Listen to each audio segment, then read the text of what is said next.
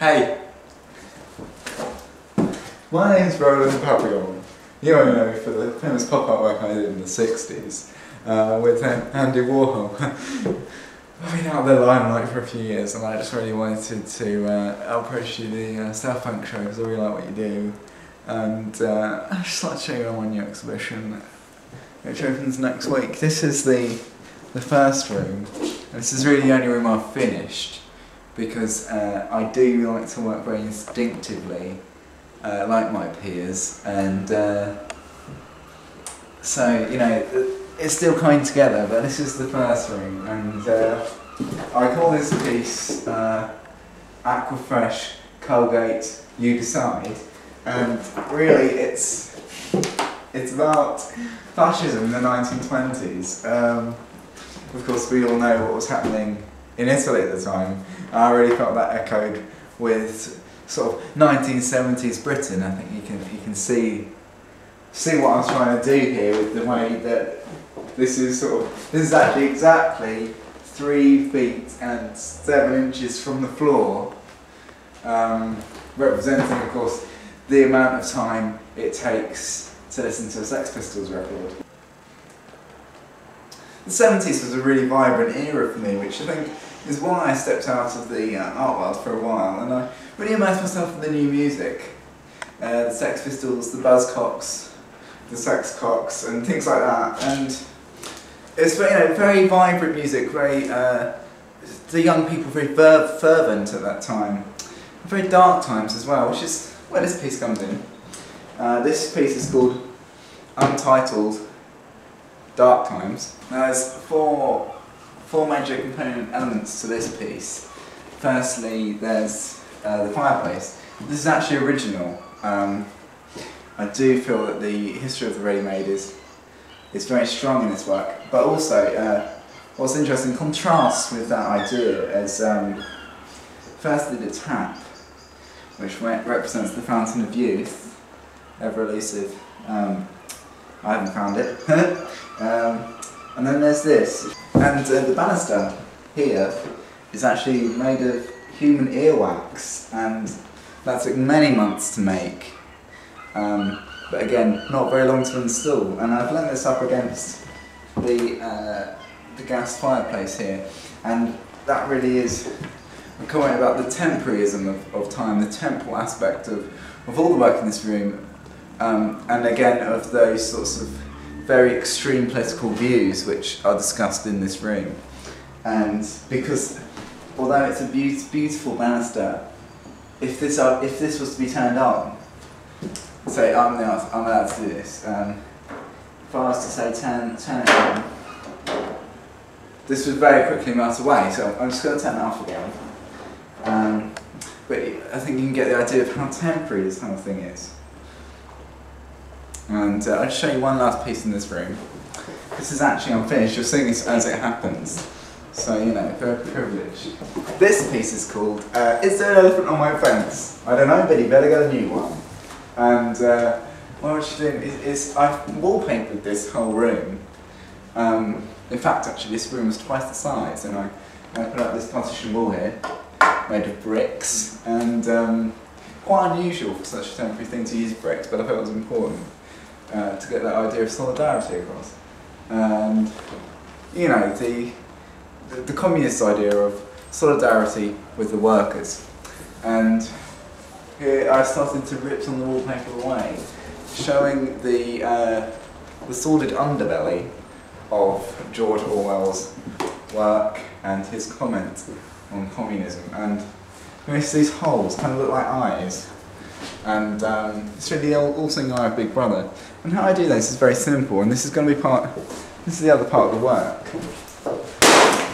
And this represents uh, the female reproductive organ, um, and, and Mother Russia for that reason.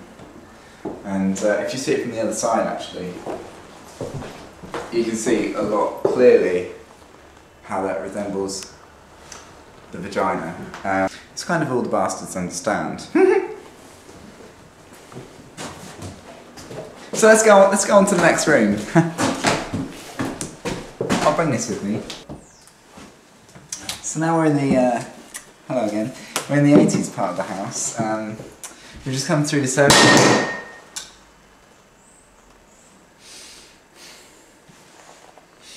We've just come through the 70s area. Um, and the, again, this is kind of a, the 80s, and as you can see, we're in a hallway. If you just like to pan around, we're in a hallway, and that's because I felt the 80s was a very transitional time, very much for um, Britain as a whole, but also me personally. Um, it's when I divorced my first wife and uh, married my second, her sister. Um, very transitional time for me. Um, so this is the first work. Again, this part of the house has not been worked on yet. Um, I really wish you could have given me more notice. Uh, here, here's where the second piece will be. Um, as you can see at the moment, it's it's just a cupboard. Um, and what, what, what's going to be in here is, is actually a model of myself. And um, this really, again, this is the time when there was a lot of riots in Britain, uh, as, as, as many may remember, or perhaps your fathers may have told you. Uh, if they were minors. And now, this also talks about my frustration with uh, being locked into the marriage of my first wife. Essentially, because at that time I had no money and couldn't divorce her really because I would have been broken and may have died. So I had to stay with her until I found someone else rich. And um, so in here will be a model of myself going, ah!